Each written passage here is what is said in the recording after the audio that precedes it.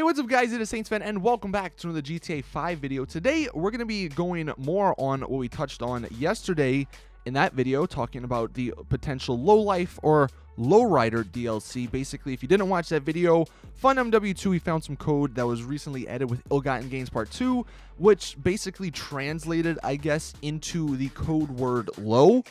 And he also found a bunch of vehicle codes, which I'll get into here in a second. There's actually 12 to be more precise. But the word we got was low. And the first thought, for me at least, was low life because I've talked about this in the past. I think it'd be a really interesting DLC.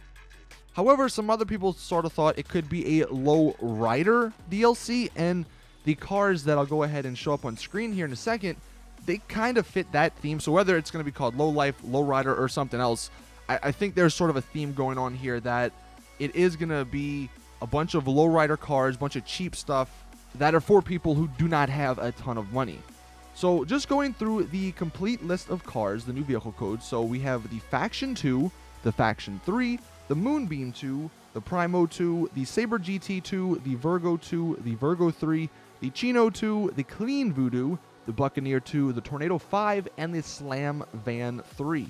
So obviously that is a ton of cars if these are going to be added in the next DLC. That's insane. We definitely need a fourth garage. And if they don't do that, which they'd be really stupid to do, then something is wrong over there at Rockstar. But I have faith that they will give us a fourth garage, if not a completely new garage, maybe with 20 cars. I don't know. That'd be that'd be really nice. But getting back on topic here, so we have all of these names now. Some of them, as you can tell, the Virgo, the Chino, some of these are already in the game, especially like the Primo. That was one that was already in the game. The Tornado, that's the fifth version of them. So these cars, if they are in the game, they're most likely going to be different versions of them. For example, the last one, the Slam Van 3, this one could be the van variant, which we've seen in the heist uh, missions, but without the Lost MC decals. Maybe they'll put that in because I think a lot of people like that when it was in the game.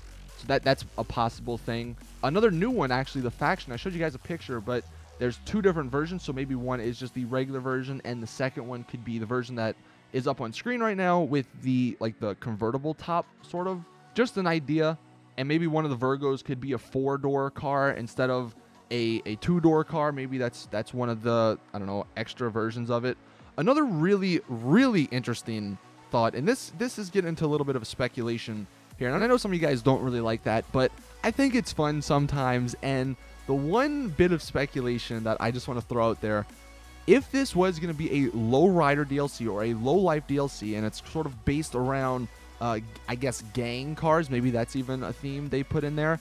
How awesome would it be if all of these 12 cars, because they are, they're not really new. I mean, some of them are, but most of them are the same ones. So, how could Rockstar sell cars that were already in the game but just changed a little bit? The answer to that would be hydraulics. How amazing would it be if these 12 cars had hydraulics. And look, I know there's going to be some people, well, if they're going to do hydraulics, why not just put it into the custom shop so any car could get it? Like, we all know Rockstar, they, they want to get the money, they want to sell stuff. So I think that would be a way for them to push these cars to for people to buy them because hydraulics have been something that people have requested for a long time. You guys can obviously let me know your thoughts in the comment section. Would you like hydraulics?